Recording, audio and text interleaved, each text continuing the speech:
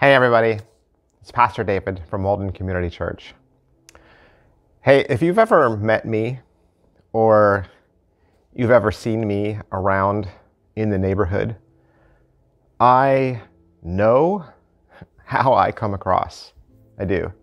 I've had to deal with social awkwardness my whole life. I am a very quiet and a very shy person. I get easily nervous and I suffer from stress and anxiety. And so when I was a kid, I was the weird kid and I got bullied a lot.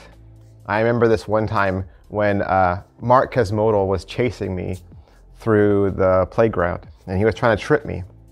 And I remember when Jennifer beat me up in front of a bunch of other girls on her street, and I was so bruised that I had to walk my bike home.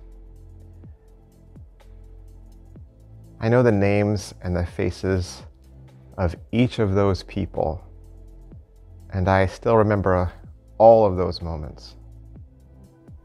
I've been robbed, I've had my truck broken into, and had my entire stereo and speakers ripped out. They even left my doors open all night long. I had my wallet with all of my rent money stolen from a grocery store. I even had one time when I was single, uh, someone broke into my apartment while I was at work and they literally stole my furniture. And in those moments, I wanted revenge. I wanted those people to suffer. I wanted them to feel pain. I want my bully who picked on me to suffer and to earn my forgiveness.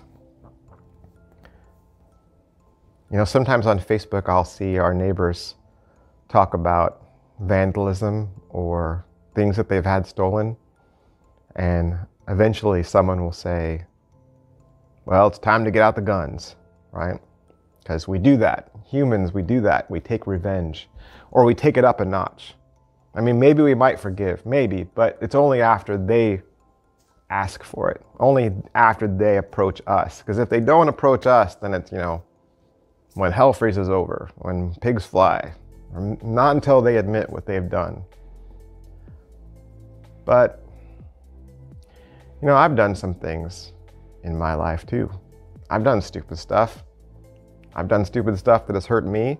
I've been a jerk uh, to my parents, to my brothers and my sisters. I've hurt friends, I've hurt girlfriends, I've betrayed people I worked with, people who were counting on me. And so, as much as I get mad about the people who have wronged me in my past, I realize also that I have wronged other people. And you know, maybe I need to stop and think that if I am ashamed and I regret things in my past, then maybe my neighbor does too. And I remember the names and the faces of those who've bullied me, but do they remember me? Am I a ghost that haunts them?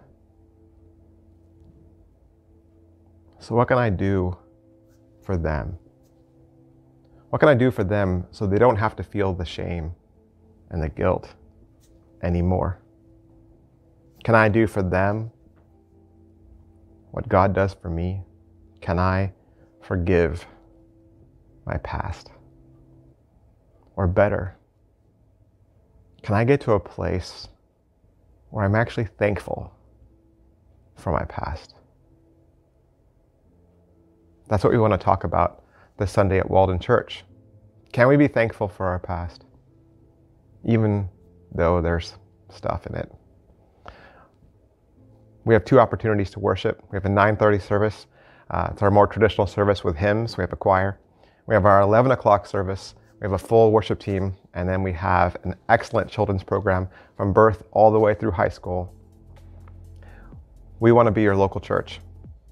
I'll see you Sunday.